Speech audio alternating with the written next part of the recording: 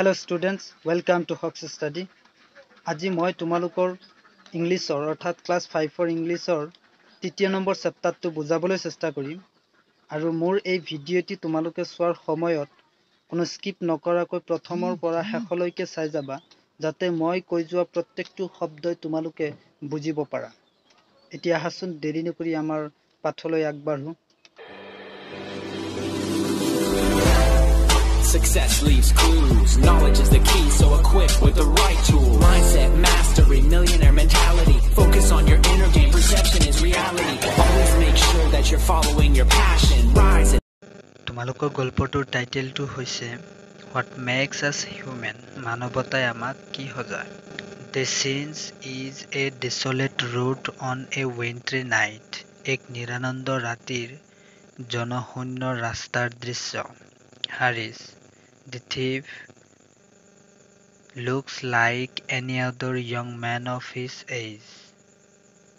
Harris এজন চোৰ আৰু তেওঁৰ বয়স যিকোনো ডেকা মানুহৰ দৰে দেখি। বাট হি কেৰিজ এ গান কিন্তু তেওঁ এটা বন্দুক কঢ়িয়ায় and it makes him different আৰু এইটোৱে তেওঁক পৃথককে সজায়। হাৰিছ টু হিমছেল্ফ হাৰিছে নিজকে কয় I must searching for my target at once তৎক্ষণাত মই মোৰ লক্ষ্য বিচাৰিবলৈ আৰম্ভ কৰিম। I am running out of money মই মোৰ টকা শেষ কৰিছোঁ। Harris spots a decent looking house হাৰিয়ে এখন শালীন ঘৰ দেখি চিহ্নিত কৰে and immediately decides to steal the valuables আৰু মূল্যৱান বস্তু চুৰ কৰিবলৈ সিদ্ধান্ত লয়। The change shift to the house দৃশ্যটো ঘৰলৈ ৰূপান্তৰ হয়। Harris jumps inside the house through an open window' হাৰিয়ে খোলা খিৰিকীৰ মাজেৰে ঘৰৰ ভিতৰলৈ সোমায়।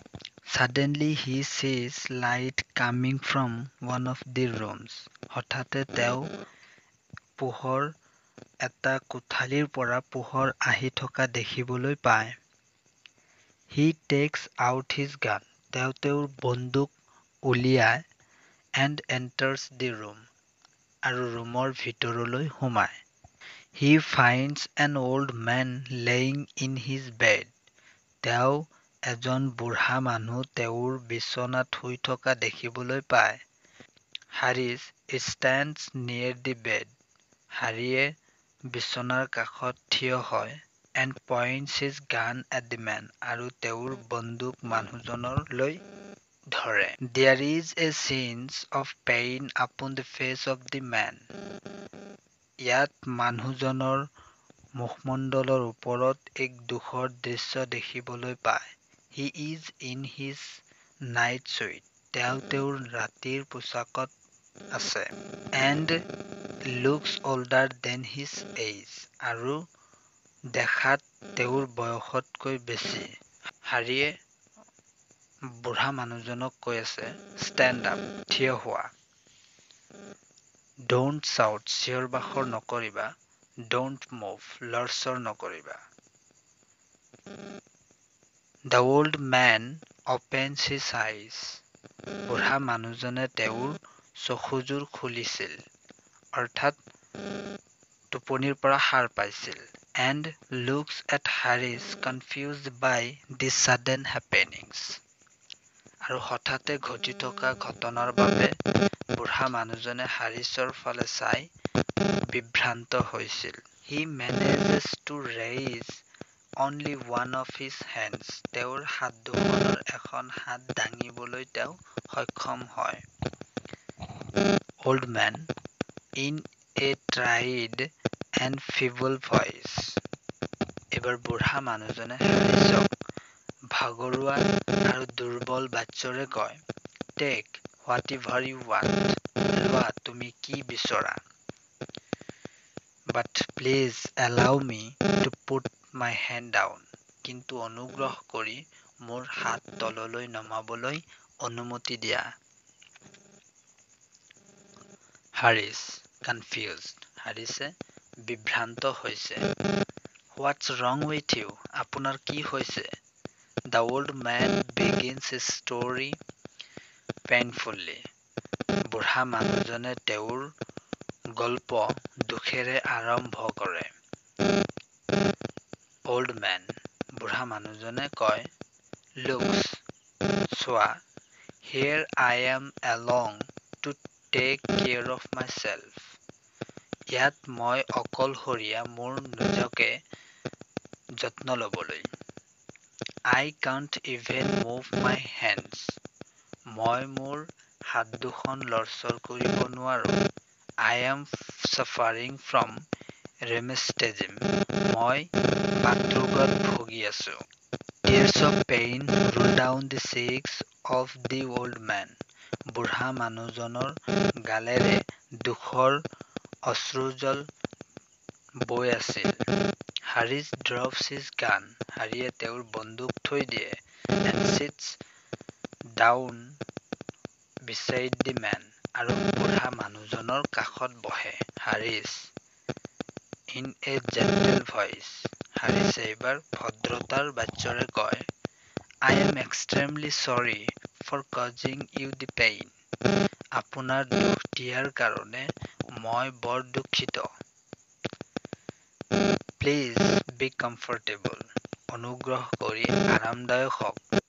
I share your pain sir মহাশয় মই আপোনাৰ দুখৰ ভাগ ল'ম। I am suffering from rheumatism myself মই নিজেও বাতৰোগত ভুগি আছো। I am in the initial stage আৰু মই প্ৰাথমিক অৱস্থাত আছো। অল্ড মেন বুঢ়া মানুহজনে কয় ওহ আহ then you will suffer like me in the old age তেনেহ'লে তুমিও বুঢ়া বয়সত মোৰ দৰে ভুগিবা? হাৰিছ ছাৰ মহাশয় I am taking the medicines as prescribed by the doctor মই ডক্তৰৰ দ্বাৰা নিৰ্ধাৰিত ঔষধ ব্যৱহাৰ কৰি আছো। But the pain and swelling are terrible কিন্তু বিষ আৰু ফুলা অংশবোৰ বৰ ভয়ানক। অল্ড মেন বুঢ়া মানুহজনে কয় I know' exactly how it feels মই জানো এইটোৰ কেনেকুৱা অনুভৱ। Always take bath with hot water সদায় গৰম পানীৰে গা ধুবা। নেভাৰ মিছ ইউৰ মেডিচিনছ কেতিয়াও তোমাৰ ঔষধবোৰ খাবলৈ অৰ্থাৎ ঔষধবোৰ ব্যৱহাৰ কৰিবলৈ পাহৰি নাযাবা।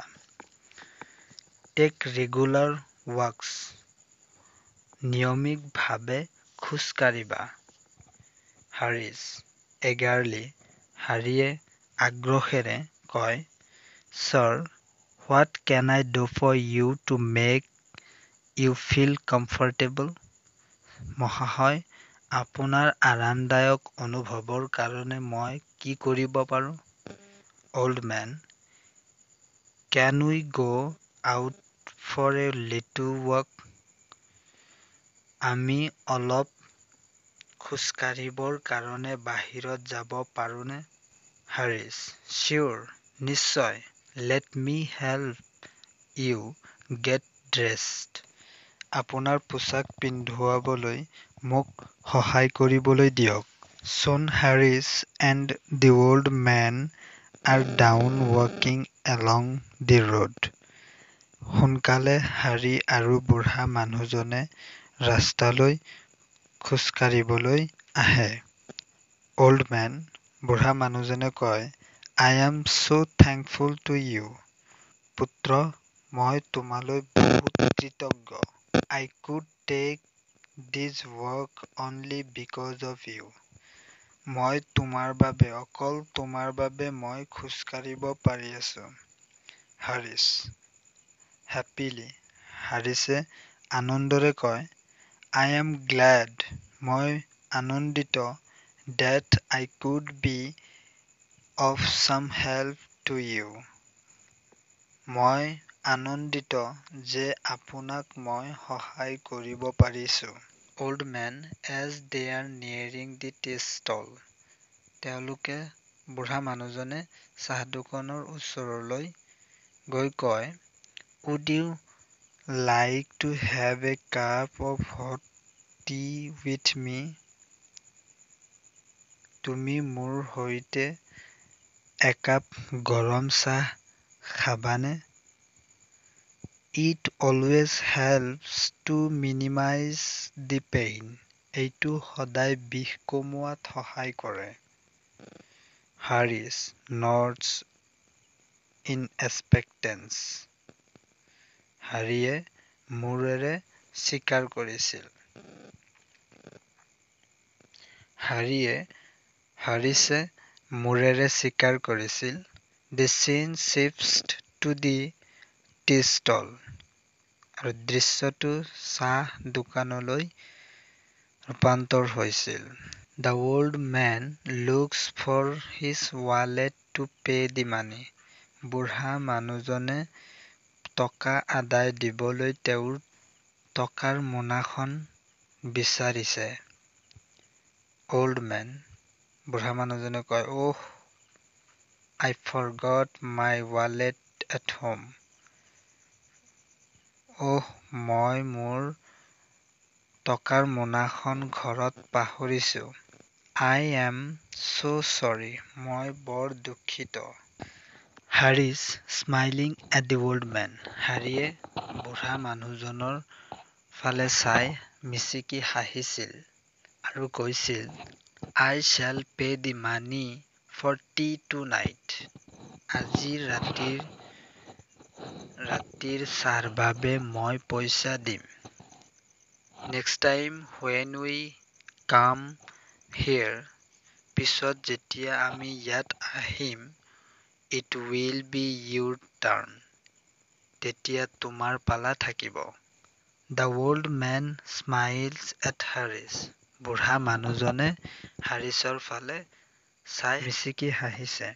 Harish enjoys the best cup of tea of his life with a old man. তেওঁৰ জীৱনত বুঢ়া মানুহৰ সৈতে একাপ চাহ উপভোগ কৰিছে। এইটোৱে আছিল তোমালোকৰ তৃতীয় নম্বৰ চেপ্টাৰ তোমালোকৰ এই চেপ্টাৰটোৰ ৱৰ্ড মিনিং বিলাক মোৰ ভিডিঅ'ৰ ডেছক্ৰিপশ্যনত লিংক দিয়া থাকিব পি ডি এফৰ লিংক দিয়া থাকিব তোমালোকে তাৰ পৰাই ডাউনলোড কৰি ল'বা আৰু যদি তোমালোকে মোৰ এই ভিডিঅ'টো চাই বুজি পোৱা কিবা তেনেহ'লে লাইক কৰিবা আৰু তোমালোকৰ সহপাঠীৰ সৈতে মোৰ ভিডিঅ'টো শ্বেয়াৰ কৰিবা।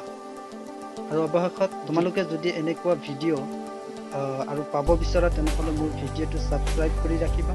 আৰু নেক্সট মোৰ ভিডিঅ'ৰ পাৰ্ট ছিক্সত তোমালোকৰ এই চেপ্টাৰটো কুৱেশ্যন এনচাৰ লৈ আহিম।